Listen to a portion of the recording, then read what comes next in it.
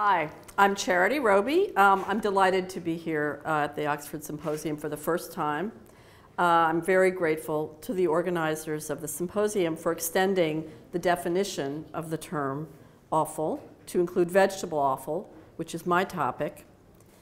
Um, as I prepared my talk, offal was everywhere, expanding its reach into world politics, where the Brexit vote here and the candidacy of Donald Trump in the US are revolting messes too terrible to contemplate, but impossible to ignore.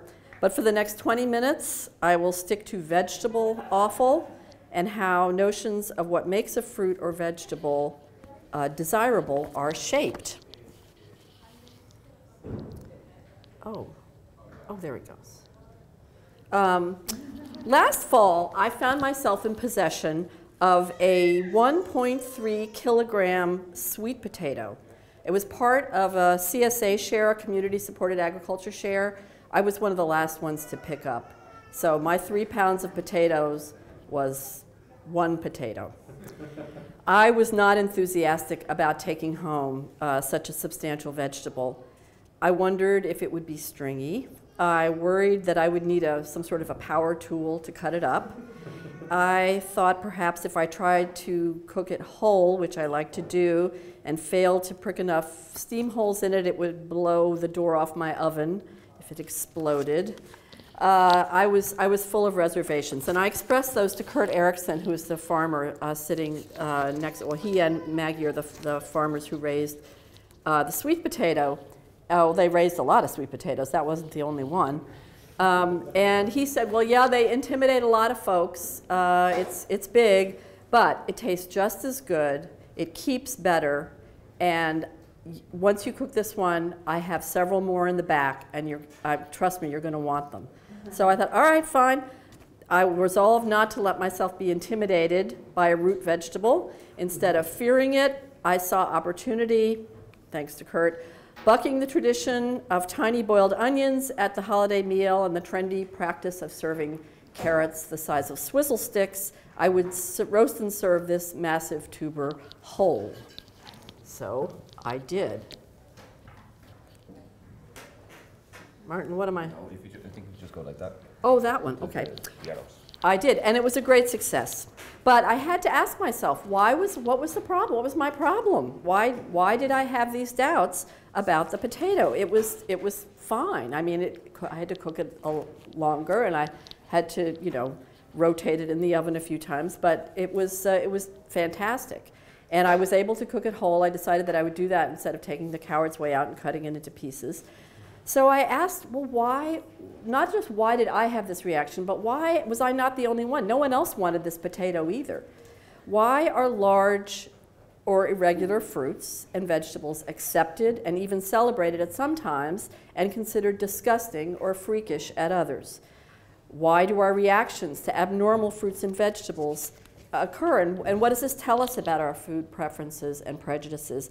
And how does this current interest in curbing food waste fit into contemporary beliefs about the wholesomeness, the nutrition, nutrition and the deliciousness of vegetable offal. Oh, all right. So I thought I would start with, with folklore because um, I think giant fruits and vegetables are pretty much a fixture in folklore and children's literature.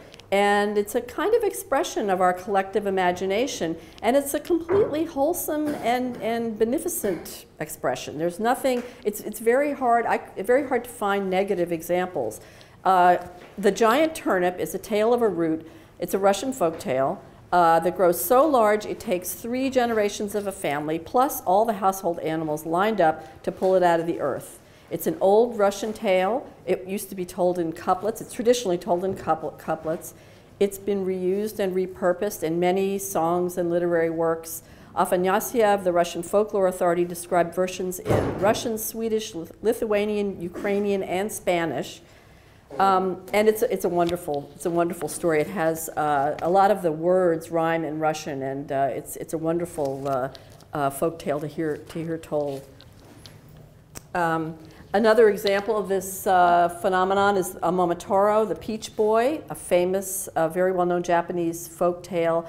In this story, a giant peach floats down the river and brings a cherished son to a childless couple. Um, the, uh, while we're on the subject of giant peaches, don't forget Roald Dahl, James and the Giant Peach. In his story, an enormous peach saves the orphan James from a grim existence and transports him to a life of adventure. In American uh, folklore, Zora Neale Hurston, who is a wonderful collector of African American uh, oral history and tales, recorded many, many tales of uh, legends and, and uh, stories of ordinary, by ordinary people, and many of them describe pumpkins, cabbages, enormous corn, giant cucumbers, and watermelons. And one of my favorites is her sweet, the sweet potato story uh, that was told to her. Uh, it was an oral tale. Uh, potato so large that it was cut into timber, and the sawdust fed the entire state of Florida, and was said to be even larger than the somewhat lumpy uh, Florida sweet potato uh, depicted here. Uh, giant, well, companies who market fruits and vegetables have long used images of giants in advertising directed at children, depicting vegetables as fun, silly, or wholesome. This is a giant pear uh, that formed, actually, this is, they're all giant pears. All those people are also carrying giant pears. So it, there are a lot of giant pears in this, in this image. Um, and this was sort of the center of the Washington, Oregon Pear Bureau's appeal to children and their families to eat more pears. And um, in the early 20th century, the Minnesota Valley Company began selling a very large variety of pea, the Prince of Wales. And to do that, they invented a spokesman called the Green Giant. And here he is with a pea pod as big as a kayak, and he's got a pretty big ear of corn in back of it, too. Um, the Jolly Green Giant went on to become an enduring symbol for the brand, and he's still selling vegetables to American families in the realm of politics or government. Um, American exceptionalism may have had its first flowering in the realm of cucumbers. Thomas Jefferson and James Madison were early proponents of the virtues of very large American fruits and vegetables, superior to their European counterparts. In 1825, Jefferson, who was then in his 80s, read in the Cleveland Herald that an Ohio farmer had grown a cucumber well over a meter long. And he wrote to the governor of Ohio, uh, and he said in his letter, although giants do not always beget giants, yet I should count on their improving the breed. And he got some seeds. He distributed the seeds. He was, uh, this was just a less than, fewer than six months before his, his death. He distributed the seeds. Um, they were planted.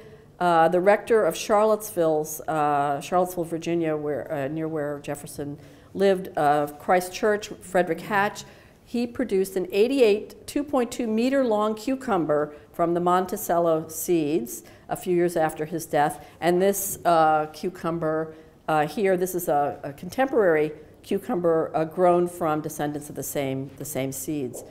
James Madison at Montpelier in Orange County, Virginia, grew a giant beetroot species from France that he had coveted and, and gotten. It, he grew it in a greenhouse on his property.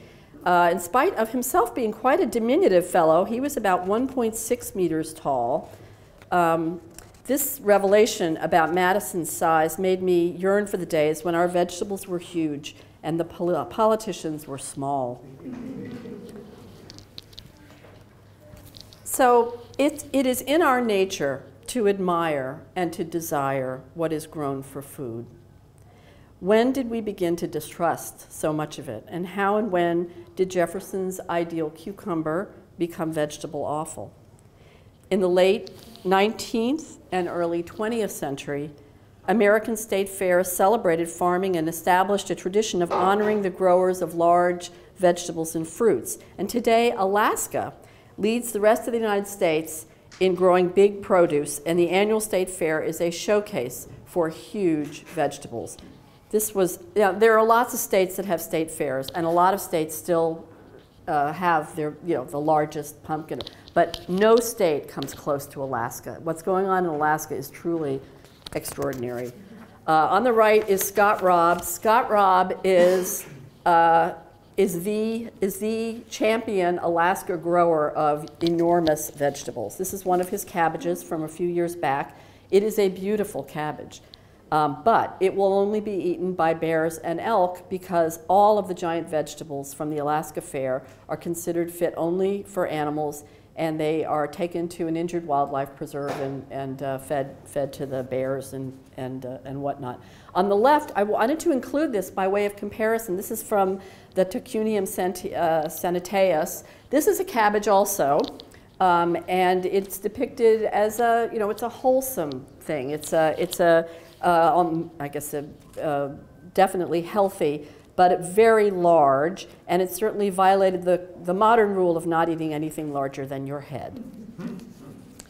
Uh, another example I think I like of, of, uh, of, this, of this sort of shift in standards, uh, all, of the, all of the vegetables in, in these two pictures would be considered by contemporary standards uh, awful. On the left, uh, the squash uh, that the Native American woman is holding um, this is a contemporary picture also, but uh, it's about a half a meter long. It's a bright orange squash. It's a variety called Gete-okosomin. Um, and the variety actually was thought to be extinct. It's grown by, it was, it was grown by Native Americans. Um, they think that, uh, that, that this uh, variety may be 2,000 years old. It's a very, very old uh, variety. And it's part of a program uh, in the Great Lakes region of the United States to uh, bring back traditional, to grow traditional crops um, as a revival of, of, foods native to that area. So this was grown as food. This was, this was not a prize winner decorative, this was food. But on the right, you have an Alaska grower, another Alaska grower, Brittany Kaufman, holding two zucchinis uh, that she entered in the 2013 uh, competition in Alaska. They're prize winners, but they are not food. So I think this is an, an example of how understandings about large vegetables have changed dramatically. The squash on the left was grown for food, the one on the right for something else. In the United States, I think it is actually possible to put a date on the beginning of the shift in thought about what characteristics make produce desirable as food, and that is the imposition of standards. Um, these, uh, uh, wheat standards were first proposed by the Chicago Board of Trade in 1856, and they were proposed as a solution to the problem of mixing the grain from different owners in the same bin. William Cronon, in his wonderful book, Nature's Metropolis, wrote about this. Um, and he said the grading system allowed elevators, grain elevators, to sever the link between ownership rights and physical grain, with a host of unanticipated consequences.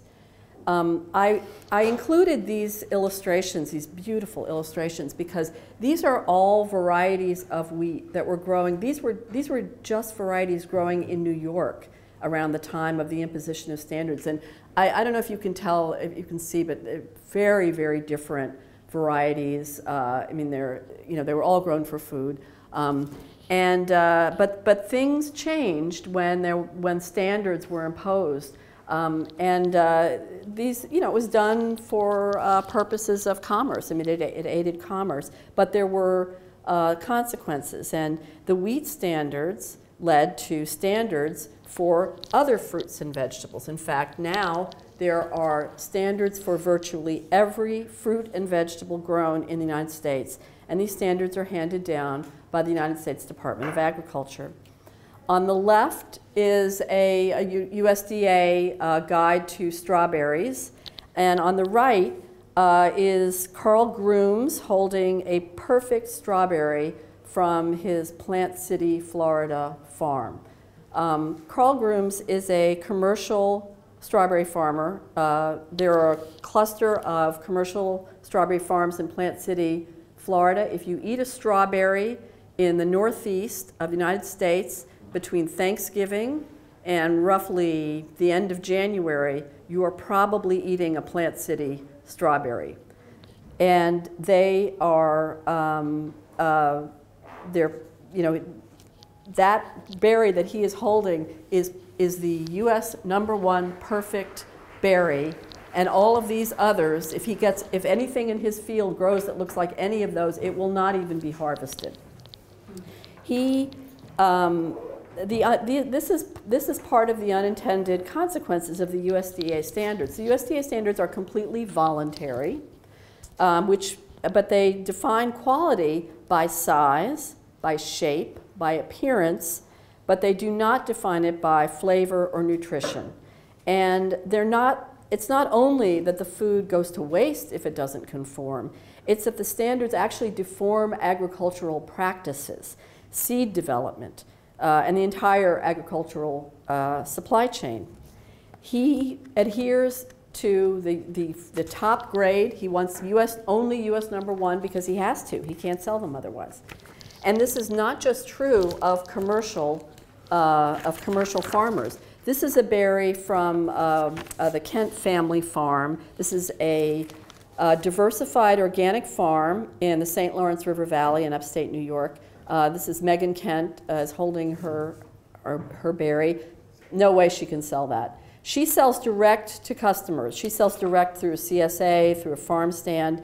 But she told me most people don't want large anything. They, they don't want huge cabbages. They don't want squash, lettuce, peas, cucumbers, root vegetables. These things, if they are large, instill distrust or outright aversion in, in customers. And, you know, having been one of those averse customers, I, I, I hear her. Um, these strawberries are um, farm stand berries, and the superior taste and flavor of farm stand berries uh, really has more to do with freshness and ripeness than with size. It's made farm stand strawberries into a luxury food. Most consumers consider, it, consider them superior to berries purchased in a grocery store. But even a farm stand berry will not sell if it's misshapen and lumpy, no matter how shiny its skin. And shininess in a berry, these are very, very shiny berries, and they were really good. Shininess is, is a characteristic of a delicious berry. Uh, lumpiness is not. These were grown by Wickham's Fruit Farm. Uh, it's a farm in Southold, New York. It's actually one of the oldest farms in North America. So we have now entered a very interesting period in vegetable aesthetics. The identification of food waste as a global problem was highlighted by the European Union announcement in 2014 that it was the year against food waste. This increased awareness and it resulted in a lot of retail initiatives in Europe and North America to curb food waste by selling vegetable offal through retail outlets like Waitrose, uh, Tesco, Intermarché sells uh, ugly vegetables. There's a, there Italy, Portugal, and Canada, Loblaw. In the U.S., Whole Foods, Imperfect Produce is a is a is basically a CSA that does it in uh, in the Bay Area, and Trader Joe's. All of these are large retail operations that that that now trade in imperfect vegetables. Suddenly, imperfect vegetables and fruits are stylish. They are on trend. This is Gwyneth Paltrow's photograph of twisty carrots from Vogue magazine. It is a beautiful luxury item. So, let me ask you, would you uh, call these apples blighted or are they breakfast? Would you care to eat this tomato? Yeah, well, you guys probably would. I mean, there are a lot of people here who just ate smoked, you know, horse tongue. So I, you know, all right, whatever. Um, the, uh, so Jeffrey Pilcher wrote recently, I thought this was very, I, I, like, I like this a lot in the uh, American Historical Review. He said, food conveys powerful ideological messages because of its seemingly natural place in human life. And seemingly is the operative word here. Um, fruits and vegetables seem to be a product of nature, but they are the result of human design and manipulation from seed to root to fruit. And um, I think that we are born with overall very favorable feelings toward fruits and vegetables. Unlike meat, which is a, you know, more, more complex, but, but fruits and vegetables, um, we perceive them as food and we perceive them as natural. But the distance that's imposed between the consumer and the farm by commercial agriculture deforms notions of vegetable beauty. We, you know, there are a lot of people who really never see anything other than a perfect strawberry or a perfect tomato. And uh, it's, you know, it's, it's a distance that's, that's not uh, necessarily a helpful thing. Consumers worry about the flavor, the texture, the purity, and the nutrition of imperfect fruits and vegetables.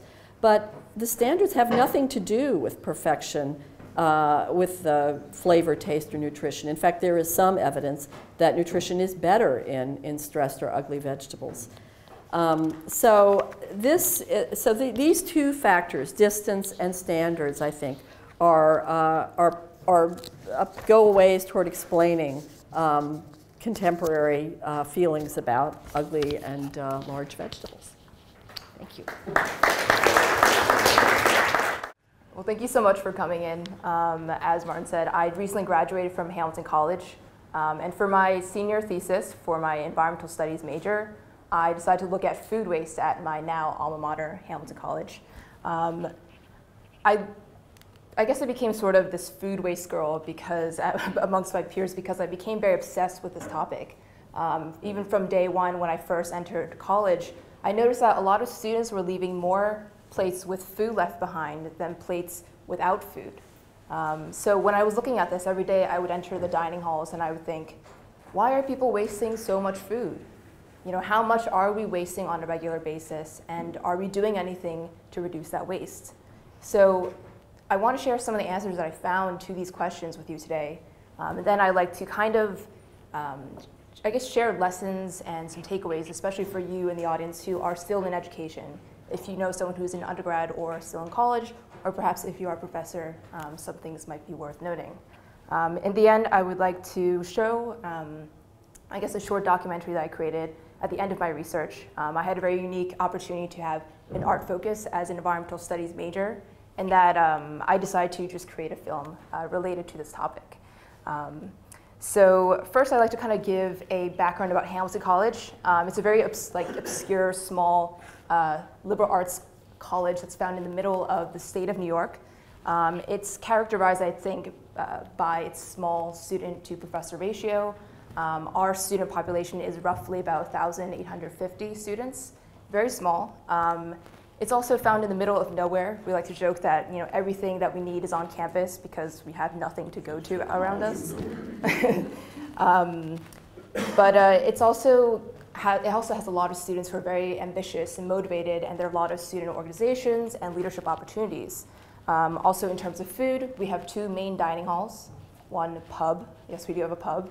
Um, we also have a diner and three cafes, but most of us ate um, or eat at the dining halls because we're kind of forced to be on a meal plan, um, and it's also helpful because there aren't that much uh, places to go eat as students around us.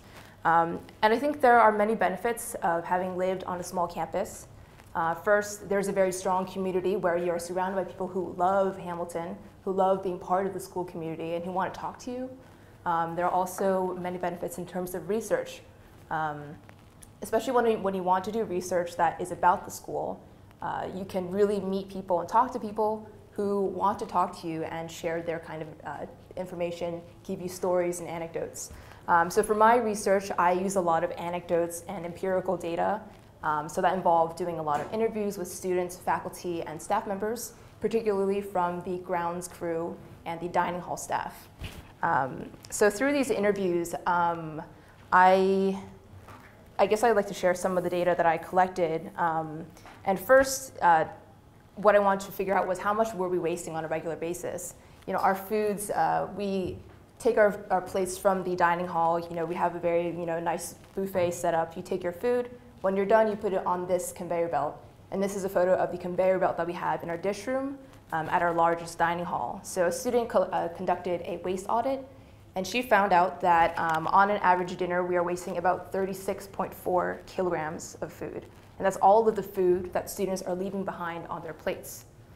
How many students is, is eating that? Uh, I think I wrote down about, well, the thing is, so the, the waste audit, this is kind of a, to backtrack um, to give you a bit more information. Originally, the girl, she did a five night waste audit. In total, I think about 4,000 people were calculated as entering, um, and then you know divide all of that, and eventually I got this number. Um, it doesn't give you the facts about how much we're wasting during lunch, breakfast, or the other dining halls, but it gives you kind of an idea of how much we're typically wasting. Um, and from these observations, you know, as I'm watching people leave plates with food on them, I've, I've as I hear people talk, um, the trends that I've been finding is that people are wasting food mostly due to taste. They don't like what they're eating, but they kind of have to eat it because that's all they're being offered. So if you don't like their food, they're going to leave that, that food behind. Um, second, it's portioning. You know, we get a lot of food, unless you tell your server that you want less, you might be getting more than you want, so you kind of leave it on your plate.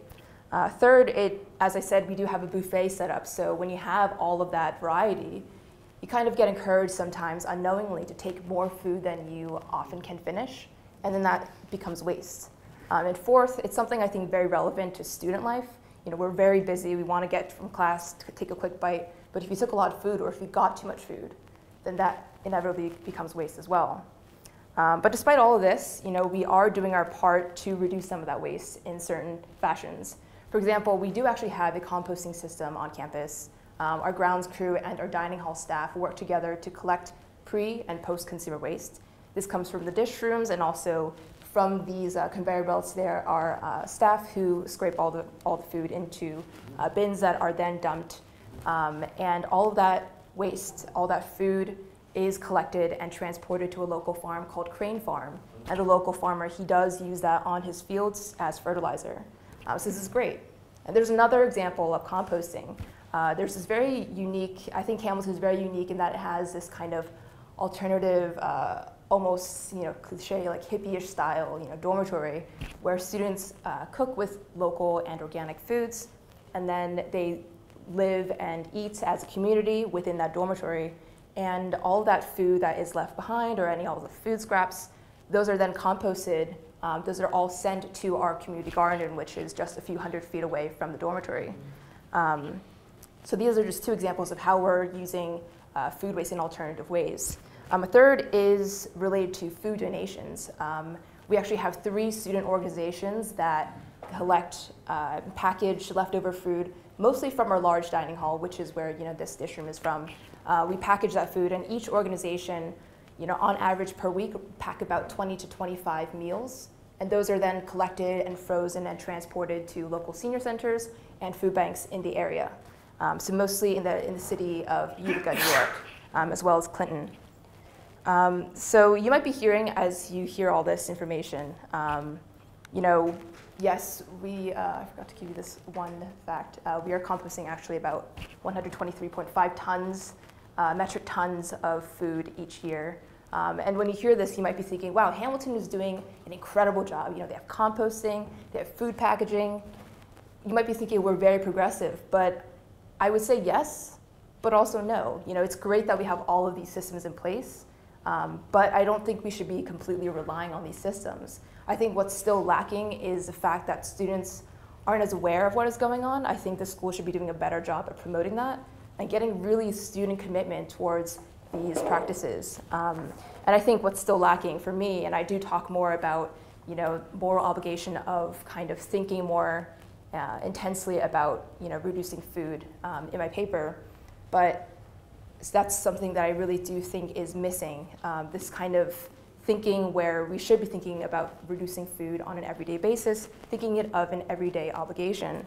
Um, so despite all of these kind of, uh, I don't know how to categorize this, but not exactly like an eth ethical glitch where people aren't thinking of it in terms of morality.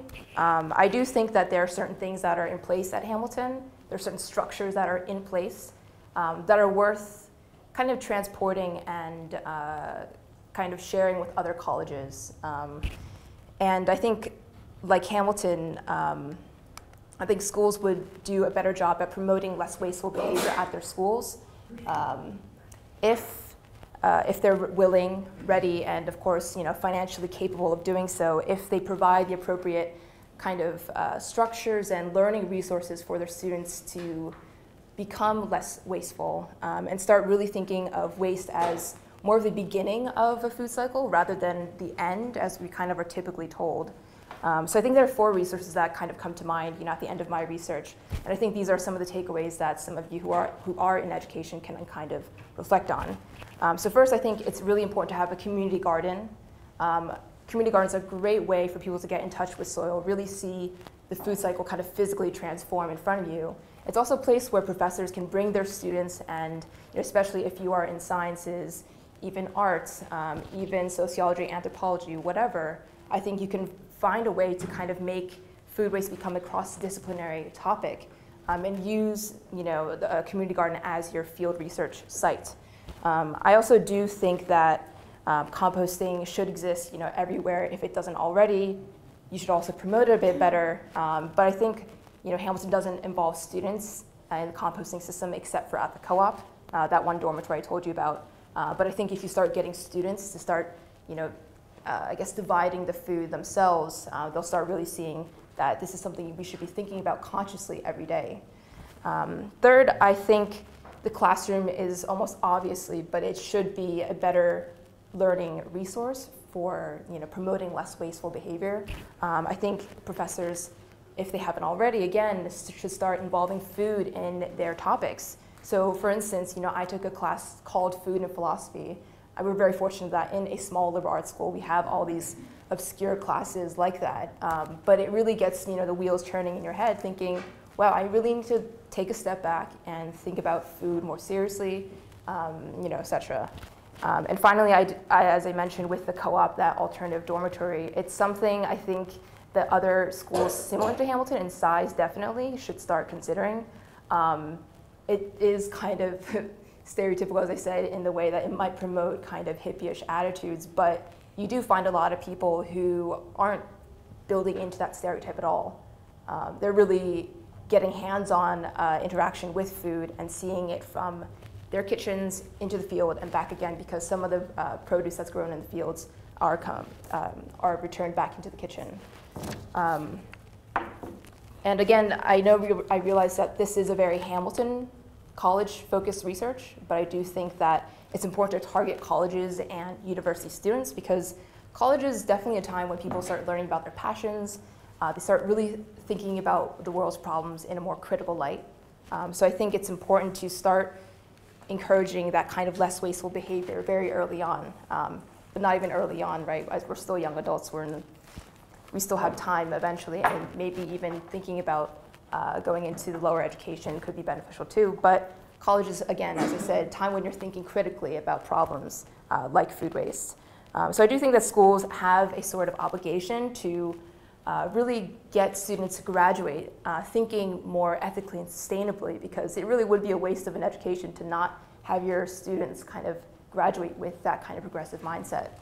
Um, and I think it's somewhat idealistic to kind of hope that everyone would you know, become very conscious about environmental issues, food issues, agriculture, et cetera. But you'd be surprised that you know, if you provide the right resources for your students, people can get very motivated. Um, and I think there's a great example that can be found in uh, a friend of mine um, named Kirsten Kampmeyer, who was actually the star of my uh, star of my short documentary. Um, she's originally from uh, Austin, yes, Austin, Texas, which is in the south of the U.S.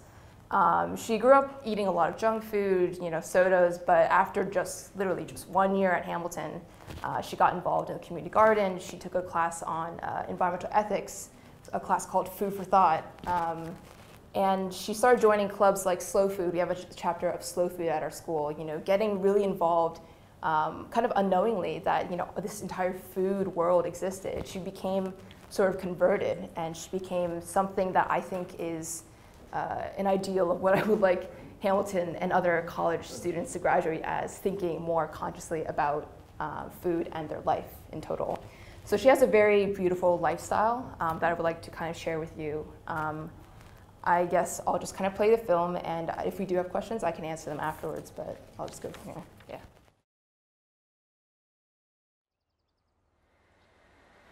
Oh, that's not the bird I thought it was. What are you? Oh, yes it was. Damn it. I want new birds.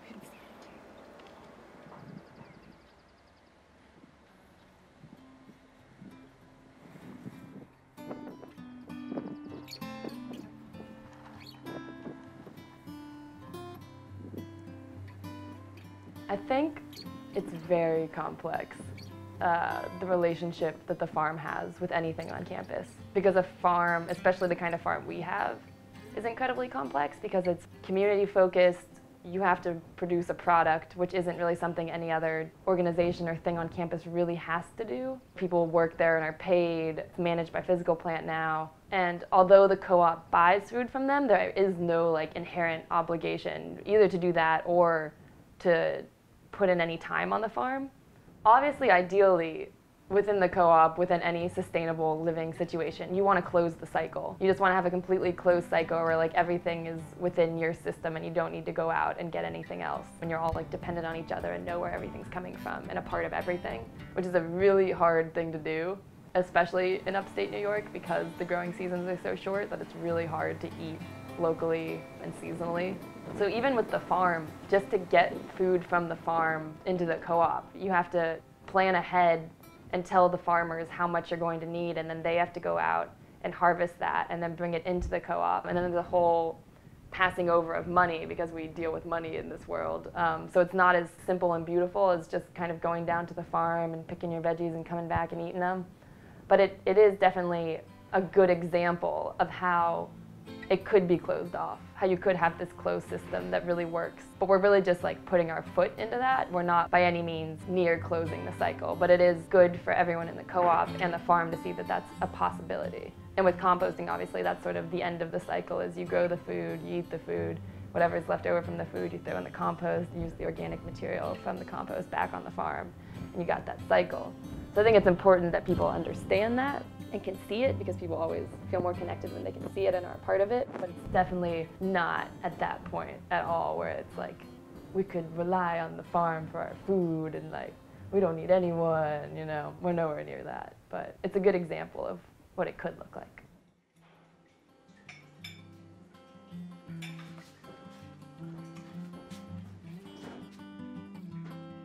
We built an igloo in the common room once. It's kind of like the igloo represents the co-op as a whole because it's a place where you go in and like immediately start having important conversations that you don't have elsewhere. So sort of like a co-op within the co-op, just like an even safer space within a safe place. Just like weird ways of acknowledging friendship. It's pretty beautiful here.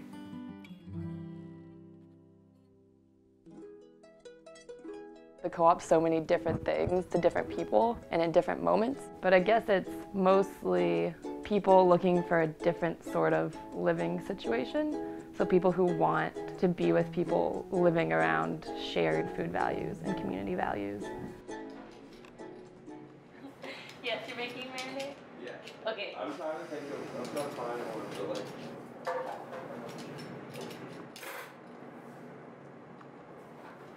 We have brown sugar. I use all the down there. Oh. And Oh. this stuff is like hard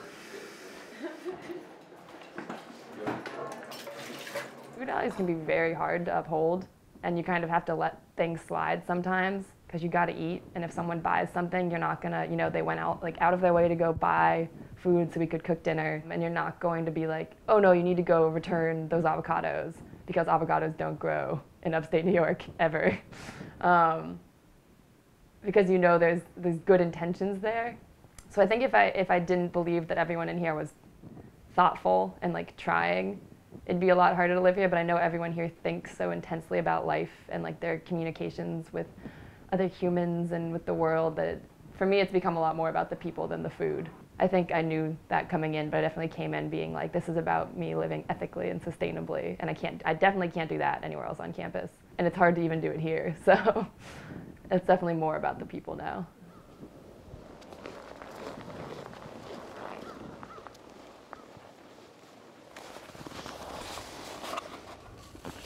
Pretty much see everything we've eaten the past like three weeks.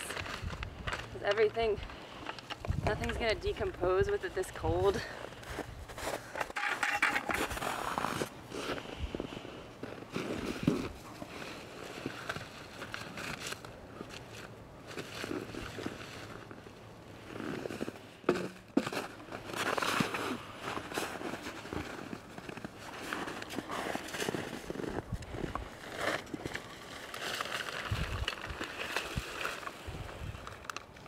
What? glove?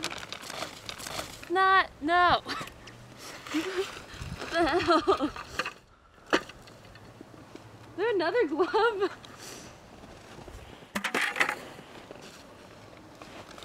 God damn it. It's kind of decomposable. I'm actually just looking for gloves now. I think we're good.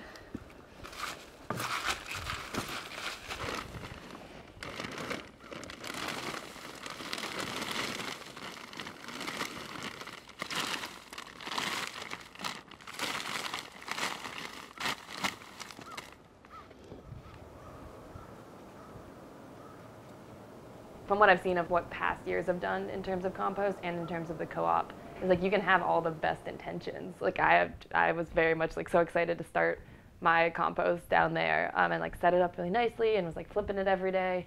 But then like upstate New York, it's just sort of like well, one day it snowed all over it and then it was all really moist and soggy and like didn't really want to flip it every day when I had to like walk down in like a snowstorm. And like a few weeks ago, it was covered in bees, and I was like, that that's not worth it, you know. Um, and I know at the farm, we've tried composting stuff from the farm before too, but it's really easy for it to get diseases or to get like weed seed in it, and then your compost is pretty much useless if you can't get it to a certain temperature that like destroys the weed seed.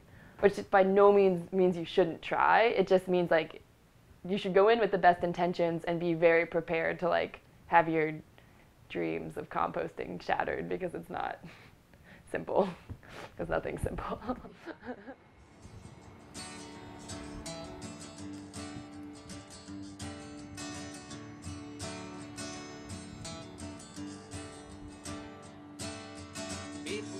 crazy. Farming for me was the easiest way to like help as many people as possible like achieve their own dreams because everyone everyone has to eat. I think most people don't really think about that as a part of achieving your dreams or like your goals in life. But it's the simplest way that I can be a part of that in as many people as possible just by like feeding people and like taking that sort of out of the way for them to like do whatever it is they want to do and it like lines up because that is my dream so it just like works out nicely for me. But having that be recognized and that you as a person can't exist without like this farmer or without the food or without the soil and just kind of like if you have to just start with like the human to human connection that's great and is a really great place to start. So like being like this is my dream and the only way i can get there is because this farmer is like growing my food so like i need to thank them or like being like this is my mom like i love my mom the only way that my mom exists is because like someone's like feeding her via food and like that's beautiful. So like i gotta thank that farmer. I think once you get to the farmer you'd realize that that farmer's just like oh well the only reason i can do this is like because of the food you know like the, it's the thing growing. Like i'm just trying to help it along but like i'm not really doing anything. I'm just lucky. Um, and then like going even further and then it's like well the food would be like oh thank you soil. Like you're so helpful. And the soil would be like thank you water. You're great. Like wow water and it would just like keep on going and just kind of being like embracing that every time you eat and are like trying to like reach your goal or your dream or whatever that it's like way more complex doing your part as an individual is like not simplifying something that's necessary to life and just like really understanding what's helping you get to wherever it is you want to go. And i think because food is something that's helping everyone people are scared to dive into it like that. But i think once you do then eating and food suddenly become like an interesting part of your life rather than just something you do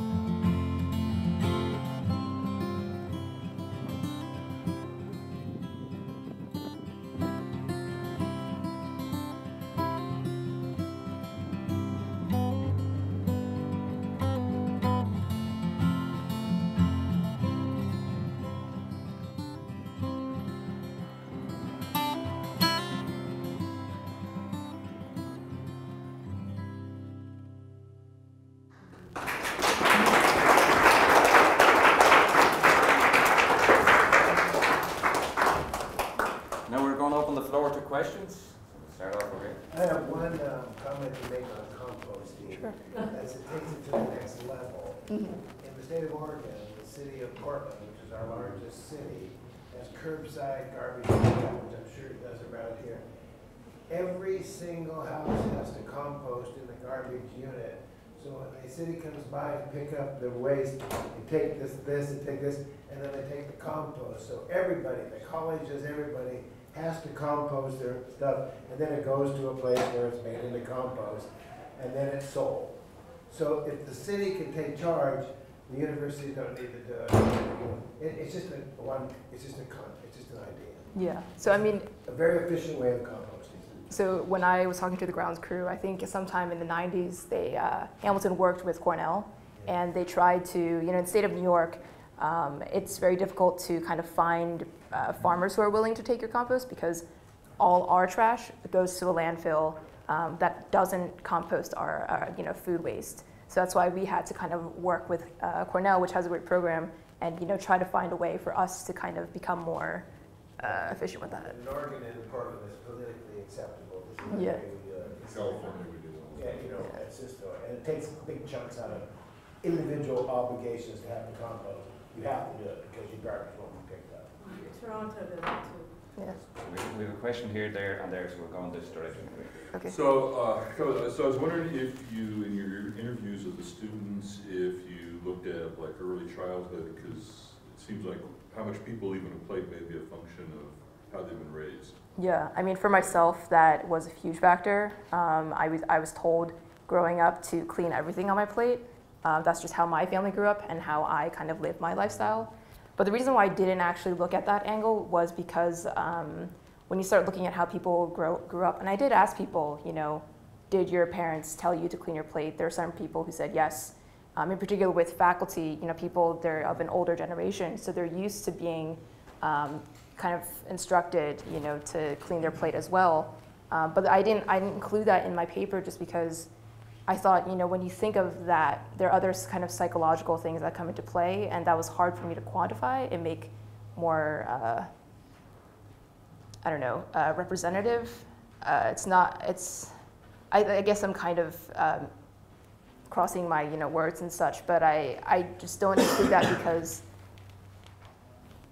I think it's different for everybody, um, and it's it was just like too much information to include in just this piece. But you know, just in conversations that did come up though. And, and the other thing was, did you look at how much food was produced but not served that also went to landfill or was, so that, the, re- the, the cafeteria is producing X Mhm. amount of food, some of it is consumed. Some, some of it goes to the students' plates, they Mhm. eat it, some doesn't, some winds up in landfill that way. But also they generally produce more than is, is given out, and a lot of that goes to waste also. Some Yeah. of it gets packaged and, and frozen for those meals. Right. Yeah. So this. Uh, Sometimes it doesn't also, I mean, there's like partial hotel pans and stuff like that. Yeah, I mean the food that also because uh, the way our school operates is that the catering company uh, cooks in smaller batches, so they do call down to the kitchens and tell them to uh, cook, which is you know, uh, so you know, Bon Appetit company they're trying to do a good job, but We're going to take a question there. No, no, go for Yeah. Helen, we've not got time. All right, would you take a quick question? What? Well, just a quick question was Sure. that um, children growing up in all of the westernised world for the last uh, 20 to 30 years have had recycling slash composting education as part of their primary and secondary schools, yet coming to college they are quite wasteful as you found. Mhm. From your own research and the movie you've just uh, showed, what were the things at college that people were doing to actually change those behaviours? What were the best things that college was doing? Is the to, to change to become to less. change. For instead of all this stuff that we're doing in primary and secondary school that isn't working because we're obviously a wasteful generation, Yeah. what is what are the actual things that are changing and what are the best things? I, Okay, I'm gonna try to answer that very quickly. yeah, Um, it's a hard question. So uh, at least just in terms of like my own school, because as I said, we do have all this all this food, and at least growing up in elementary school, when you bought school uh, or when you bought lunch at school, you're only given a small portion each time. You always had like a very small portion, and I think I saw. I can't really say now as I'm older, but I feel like people, you know, ate all of that more, whereas you just have much, way, way more abundance here. So there's um, structural things as well as education. I think so. Yeah, We'll the go short of it. to the final question here before we finish up. two points. The, just for me to better understand, the about forty kilos waste that you mentioned, that was only in one dining hall? Yes. Okay, because, um, about, when you're talking about one hundred and twenty-three tons that were composted. That was a year. That makes about four, three hundred and forty kilos per day in the college, which Yeah. is really a lot. So, and the other point was, if you somehow include the pricing of the food, Was it, is it subsidized by, by the college, the, the, the price the students pay? Mhm. Because very often, um, we realize that things that are not properly priced are not valued. Valued. Yeah. Yeah, I mean, so being, we have to be part of a meal plan, and set, it goes by seven meals a week, 14 to 21.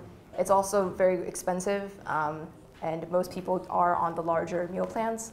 Um, I didn't look at the costs of the food and how that's kind of wasted. The only things that where costs came into play was uh, the cost of throwing the food out um, in a landfill versus actually having it composted.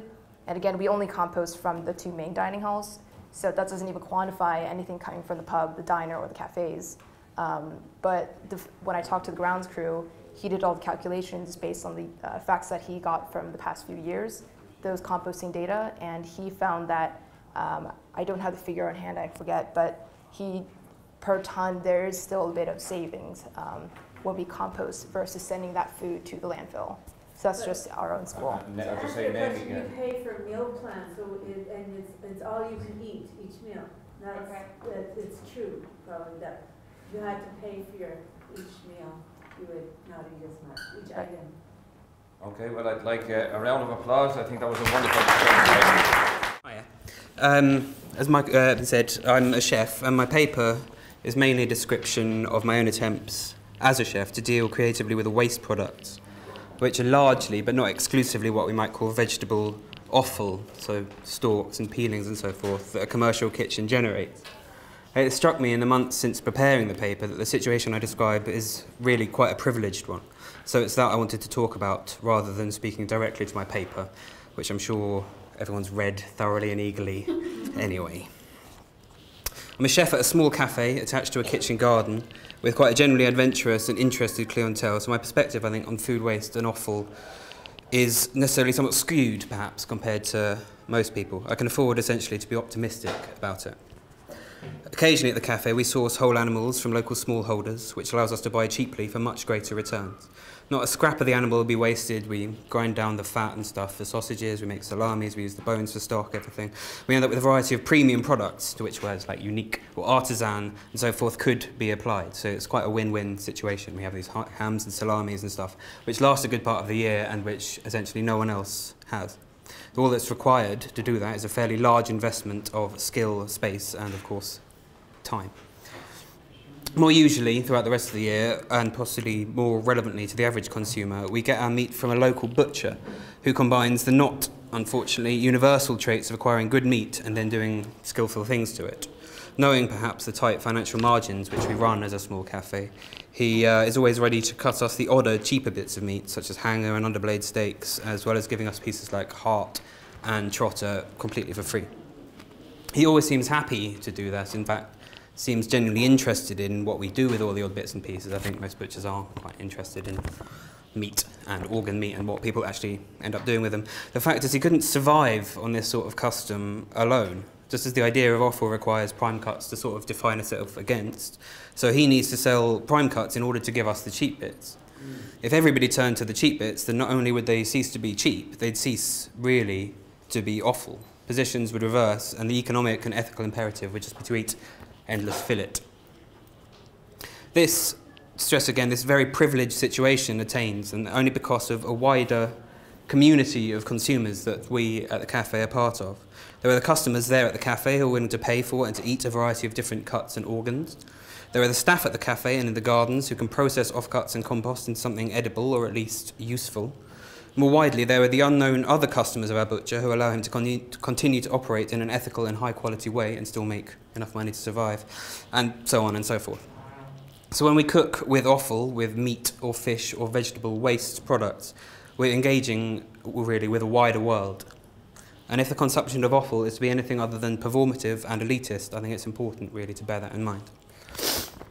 It's clear from a professional perspective that the food systems that we work with, with the suppliers we work with, from farm to fridge are dysfunctional, with waste not the unfortunate byproduct which that word should suggest, but built into the warp and the weft of them. If we want the round the clock convenience and the kind of mindless worship of freshness which supermarkets and which large scale wholesalers provide, then waste is the inevitable consequence. If everything is freely available all of the time, then some of it goes off. That's obviously just what happens. Once you begin to accept that, though, you lose sight of the value, the nutritive value, the financial value, or the social value inherent in each individual piece of food. Currently, I think a model prevails where, because food is bought too cheap, it is esteemed far too lightly.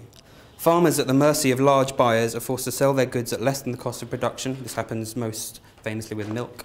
Uh, well, at the other end of the supply chain, we throw away those half pints of milk because they're past their best. We throw away bags of wilted salad. We throw away reduced meat, eggs, which we think have gone off. It's easy to blame individual consumers for this, I think, but what else really can you do if that's how you're educated about food waste It's just the numbers on a packet there's no network really to distribute waste and few of the people have few of the skills to make the best of it. The community that we have in a commercial kitchen to wring the most out of all our materials needs really i think a parallel in the domestic sphere. My mum volunteers in a day centre for homeless people, cooking a daily meal for a not insignificant community, many of whom, incidentally, are in themselves victims of the war for ever cheaper food, often Eastern European migrants brought here on a promise of year round farm work. They find themselves, after the harvest, often jobless, often passportless, and homeless, with several, for example, who are living inside a large shipping container, one of those large metal boxes. Um, the food that the day centre feeds to these people is, of course, largely donations of waste. A lot of the meat comes, for example, from Nando's, where their practice of pre-cooking and hot holding chicken for each service means they have huge amounts of leftovers, which are promptly frozen and then redistributed to these different centres. Good for Nando's. It'd be a mistake to think, though, that only chains and uh, chain restaurants and supermarkets produce this kind of waste, I think. A local, for example, a local farmers market, I think I'm right in saying, is one of their largest, or one of their chief donors, providing good stale bread, stale sourdough and stuff, and boxes of softening heritage vegetables. So alongside the Nando's chicken, you have purple potatoes and mixed carrots and so forth. So, more responsible food businesses, as you suppose a farmer's market would be, aren't immune from waste. In fact, as I kind of mentioned in my paper, they're often more likely to produce more because the more raw materials you waste with the, clo- you work with, sorry, the closer you work with producers, the more waste you're likely to get out of that. Uh, so you're likely to produce more. But placing a far higher value on the raw materials that they work with, I think they're far more likely to want to do something about it. Or so, so you'd hope. I'm quite wary because the cafe I work at is kind of mid-high end. I'm quite wary of accusations of elitism in this kind of use of waste, this kind of repurposing of waste. I don't think, as some people seem to, that creating a zero waste, fully sustainable farm to fork restaurant that has a $250 tasting menu is particularly laudable. It's impressive, perhaps admirable compared to other similar restaurants, but only in the way that it might be admirable to say carbon offset a completely pointless long haul flight. You probably shouldn't have made the flight in the first place, but it's good that you're doing something about it. If what you're doing is essentially useless, sustainability should be a bare minimum. But um, as all restaurants really are basically useless, I suppose it's something that needs addressing by all restaurants. No one needs to eat out, ever, really. Um, there's an unexamined idea, I think, behind a lot of the farm to fork movement that in some not long ago golden age when everybody lived off the land, the people enjoyed this kind of year-round diet, of fresh fruit, vegetables and salads, which is, of course, complete nonsense, requiring huge amounts of labour and land to bring to fruition, which is why these restaurants end up massively expensive, elite feeding places. They foster a community of farmers and butchers and bakers and cooks, but they only do so really for the very richest in society who can afford it. I'm not a food historian, except in a very amateur way. But I know that a more accurate picture of sustainable peasant living would include, apart from long periods of disease or starvation, a huge repertoire of methods for storing food, not for this constant kind of harvesting, harvesting, harvesting. They would have things to last the winter. The fleeting moments of freshness in spring and summer, the rich harvests of autumn would just be the start of a lengthy process to ensure enough nutrition to last through the long dark that would be the rest of the year despite our recent embrace of an idyllic kind of Mediterranean diet in this country, which I think is where a lot of the kind of worship of these fresh things comes from, we are, of course, essentially a northern European country. And when considering how to how to deal with waste, how to get the most of the limited resources we have, it's other such countries that I often look for culinary inspiration.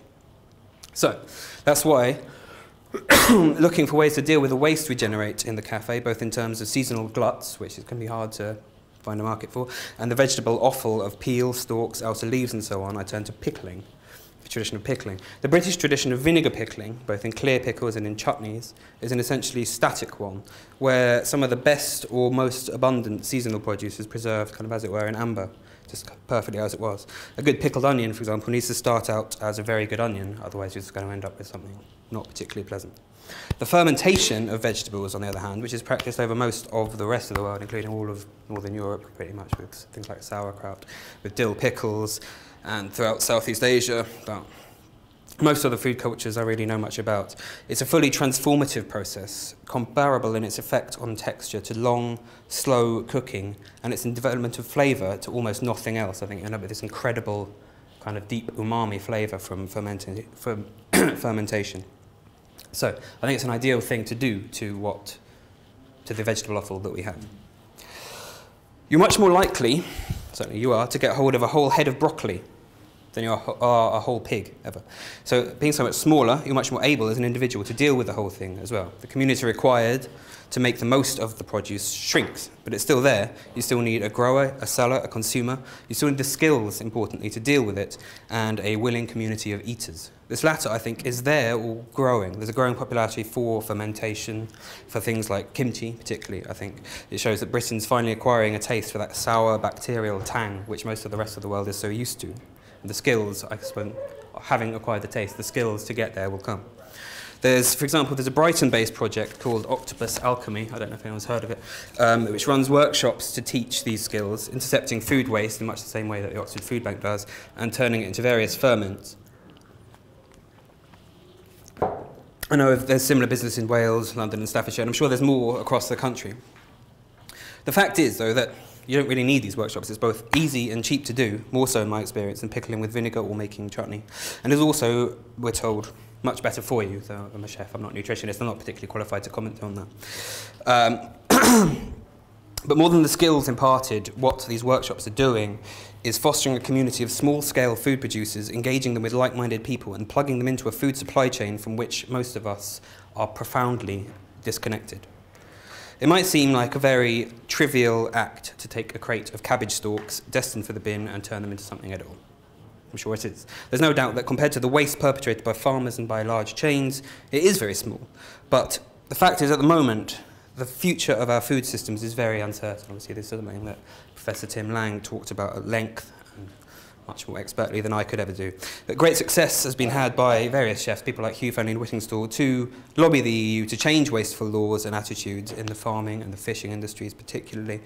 Uh, in light of the events of the past few weeks, that's all up in the air, really. No one kind of knows what's going to happen next. Our fish supplier uh, at the cafe is uh, quite a, a well, he was a strong support, supporter of the Leave campaign, the Fishing for Leave campaign. He comes from a Lowestoft fishing family who've seen, as they see it, they've seen their industry devastated by the effects of the EU. Whether that's fair, it's not for me to, I think there's obviously other forces at stake there. But even he is now thinking, we don't know what's going to happen. We don't know what's going to happen to our fleets, to our quotas, to any of those sort of things. So, our extrication from the Union, from all these things, will probably take years if it happens at all, and no one seems to know what will happen next or who is in charge who will protect and subsidise our food and our farms. Perhaps we should focus on the things that we can change, however small they might be. The food we eat and share and the communities in which we do so are some of those things. I know it's tiresome to hear chefs like me, who get some of the best produce in the country delivered to their back door, lecture others on shopping small, shopping local, shopping in markets, so I won't except to note that greengrocers are almost universally cheaper than supermarkets. They stock a better range of fresh vegetables than all but the largest ones. I know there's more things than money to be uh, to kind of worry about when you're talking about the availability of these things. People are time pressed. Anyway, even if they were ex more expensive, the more expensive the product you buy, the greater the incentive to use it all, which I think is the main thing here. People buy things cheaply, they chuck them away. My own incentive came really from watching our growers work when I saw how much work they would put into just a field of Cavolo Nero to some radishes. How could I throw away a third or even a half of the product of their labours, even if it was conventional waste, just because it took a bit more time to prepare? And the, the kind of the moral I suppose, imperative led to an aesthetic one. But once I realised the deliciousness which can be wrung out of cauliflower and kale stalks, carrot peelings and squid guts, I could no more bring myself to throw them away than I would, as a chef, beef bones or offal or fish carcasses, which you can make stock out or which you can feed people. Uh, there's a sense of responsibility that comes from belonging to a community like this. I might feel it more keenly because I work with the gardeners, I know the fishermen, I know the farmers, and I know the butchers, but I think everybody who eats really is a real part of it. Anyway, all of this for me wouldn't really mean anything if the end result didn't taste really good, which luckily I think it did. Um, if you could pass that jar up. I've been informed I'm not allowed to do a tasting in here because there's a carpet and we might get pickle on the carpet. Uh, but this, I was going to bring uh, some of my the squid garum, the fermented fish sauce that I deal with in my paper, but I don't know how well it travels, and I didn't really want to cause an international botulism thing. So instead, I brought something else I mentioned, which is this compost kimchi. This is made from Cavolo Nero stalks, which are salted and sugared, and then mixed with a paste of previously fermented seaweed, uh, to kind of replace the fish sauce you get, garlic and chili. This was made in April, so it's quite well aged. It's been maturing in the, uh, in the fridge for a while, so it is strong, it's intense. It's something to be used as a condiment rather than an eating vegetable. Um, as I said before, you have these things which are, they as ferments rather than pickles, they kind of develop over time. They kind of they change their nature. Those, I think this particular pickle's high point was a couple of months after it was ready, when some combination of the garlic and the kind of brassical stench combined to produce something which really smelt of truffle, really strongly of truffle. Um, which obviously, as we know, truffles themselves produce that particular aroma because it's in impersonation of pigs' testicles. It's the hormone that attracts pigs to hunt them. So you see that kind of offal calls to offal. They're very similar, very, very similar smell. So anyway, I'll be down in the foyer with some spoons if anyone would like to try this afterwards. But if not, sorry. The vegetables. This is Cavolo Nero, yeah. So the black cabbage. Uh, And we don't, we have that really color. Thank you.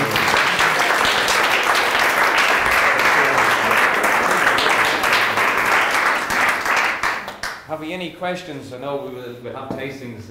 Yes. Yeah, I grew up um, on a place that huge gardens. We canned, we preserved, we pickled, we filtered, we cellared. Uh, I still do a fair amount of Mhm. canning, but recently I've become more concerned about the carbon impact of that on a home scale and just looking into, you know, what that is. What is your take on that, on, on The carbon impact of preserving, or on that. Preserving, yes, especially I grew up with the American method, we, you know, we immerse it in and take it for the ten minutes the. Oh, I see the cooking and so forth. This. Processing. The processing of this food, and apparently the, the carbon impact at, at home is much higher than it would be saying. I suppose it would be because the kind of economies of scale you get, but with anything, because I partly do this because of these supposed health benefits of the live bacteria you get. Nothing we pickle generally is processed like that. This is completely uncooked, so it's raw kale stalks, salt rubbed into them. Everything's completely raw. So That's part of why I was so interested in. we don't even. Probably shouldn't tell you this. I don't even sterilise the bottles. but How many, how many people are still there looking forward to it? Any other questions? Sorry. It's, uh, I've got some cards with me that point on it. It's called Darsham Nurseries Cafe. It's in Suffolk, in the middle of nowhere in Suffolk. as most of Suffolk is. We'll start off here, yeah. Um, yeah, thank you for that. It was a great sort of self-reflexive view of sort of what you do on a daily basis, and you really described this um, very complex sort of negotiations you had to do sort of in your head as you went to your job every day. But I was just wondering, like, how how how do you do that with this like understanding of how complicated things are? I mean, is it like an existential crisis for you every day? You know, you go like, "Ah." I'm just curious. I think it probably would be if I forced myself to actually think about the kind of the waste involved, the place in the supply chain, which is why, as I say, I just try to do a small, a small thing about it each time. But um, there's, I think there's always going to be waste involved in restaurants. Uh, I used to work actually in a large college canteen. That was my first kitchen job, and the waste involved was astonishing. The amount of food we threw away was disgusting. I worked there first at a summer school, um, so everyone there would have paid in advance for their meals and were given out small portioned amounts. So you'd have these starving Italian kids coming through who'd been doing boring language school stuff all day, and you'd give them these neat portions of pie or lasagna or whatever and tell them they could only have one bread roll each, which is obviously completely alien to a, a continental style of eating to only have one bread roll. And then having done that for an hour, you'd throw probably a portion of pie about half the size of this table straight into the gobbler, the, the food disposal unit. Um, obviously that's an extreme example, but any kitchen, any commercial kitchen, unless they only have take pre-bookings, unless they have a completely set menu, you've got this huge amount of waste involved. So uh, I guess if I really cared about it, I'd stop working in kitchens and do something else. But as it is, I try to do a small, a small thing about it as I can. We'll go with and then we'll go back. So a number of, the- I worked in restaurants, both Europe, UK, uh, Mhm. I think, well, I guess, part of the UK, and North America, and a lot of the the municipalities now, they're trying to control waste via how much, they, they charge you different for trash versus Right. compostables versus Yeah. recyclables. Toronto does it by selling the bags, actually, so they control it.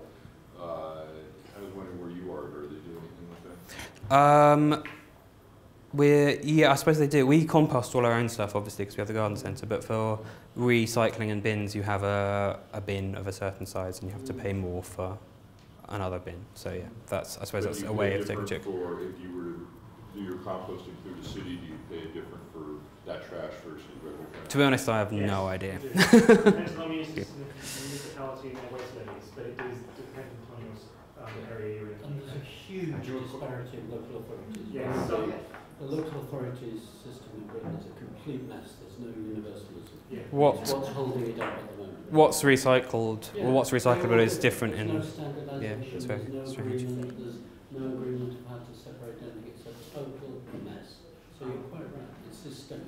It's no better in the Just to No. comment on your Toronto thing, and I'll get to What question. Uh, so yes, it's in Toronto, it's in Oregon, uh, the green recycling is in a lot of different places, but I was going to comment probably from the last one, that in a lot of places municipal composting can't occur because they don't actually have a municipal composter, they only have landfill, which is a very big problem. So reduction as well as actual deferral or treatment method is needed, and yeah, there's a lot of municipalities with problems there. I was just going to kind of go, so Mhm. you say, yes, waste in restaurants is a problem, and you've also kind of gone that we don't need to eat out, so to speak, Yes. because of that. But kind of my, what I'm grappling with in terms of food waste is the, every single person who cooks is an individual, and the waste we create is an individual. You can ag- aggregate it to a Mhm. population level and say young people, if they're cooking waste more than older people, if, you know, different incomes and different ethnicities waste differently when you do dinner. Mhm.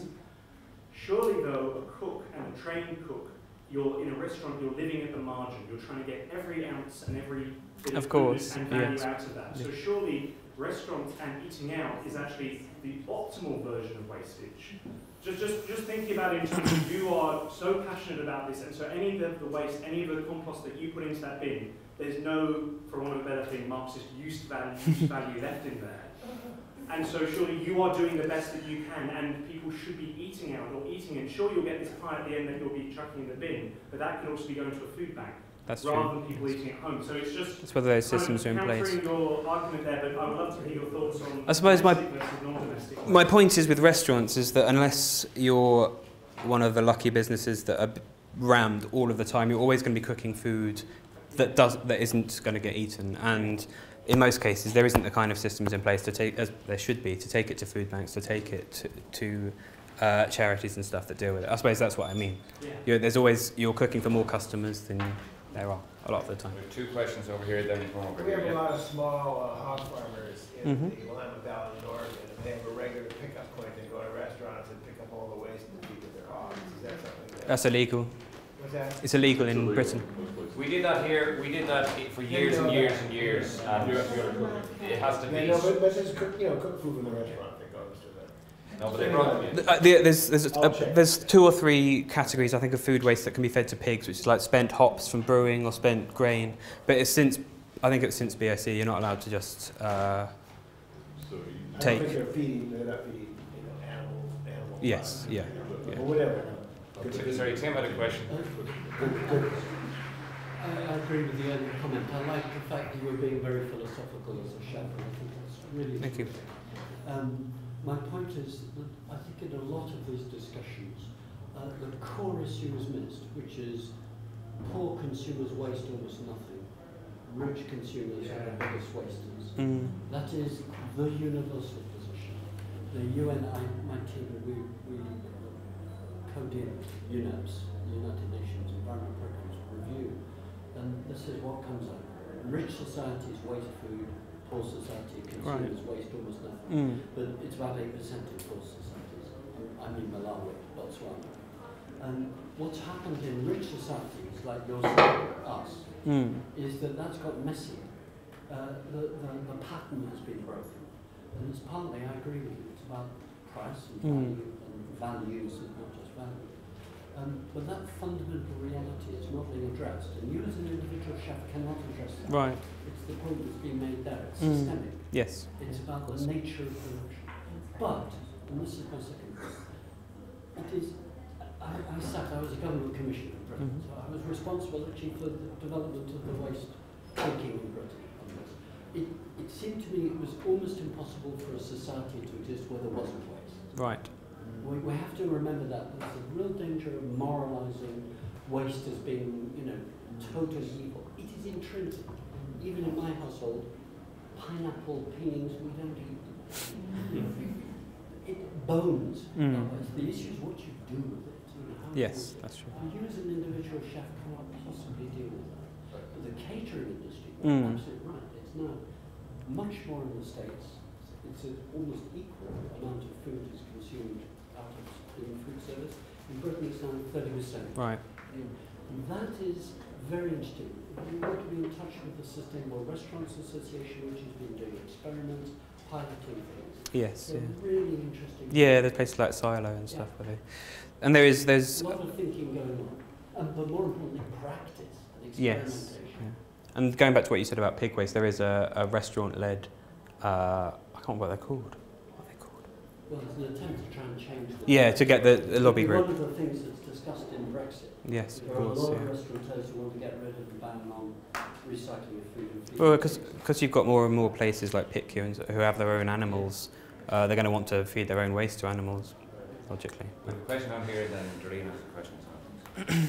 On that point about ritual or poor and waste, but there's one thing which kind of seems to make a bit of a difference in terms of how much gets wasted. So things like with electricity, sort of smart meters and more visibility of where, where things are going. So I don't know if you've heard of there's a startup I think called Winnow that's trying to give restaurants a better picture of systematically what's being Right. wasted. Because you really have, uh, it makes it a bit easier. So Mm. this is crazy. We're wasting this much every week on just that front. Yes, So that, that was developed by the Sustainable Restaurant System.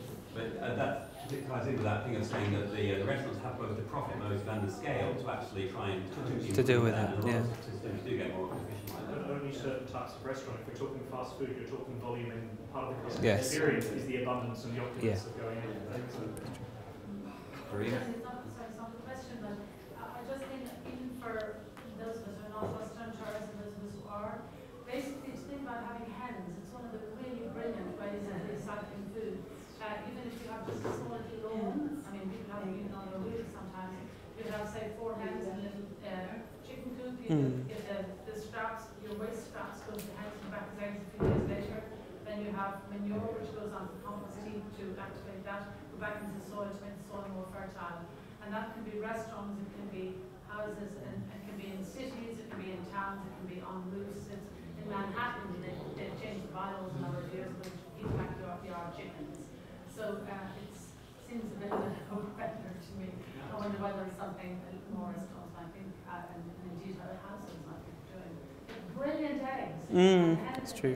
Eggs are so much better when they have not just meal but food scraps. It makes the Mm. And grass, of course. Yeah. I think, uh, I think on that note, and particularly in mind that I'm sure there's plenty of you who want to have a taste of this stuff here downstairs before, I'd like to just, a round of applause for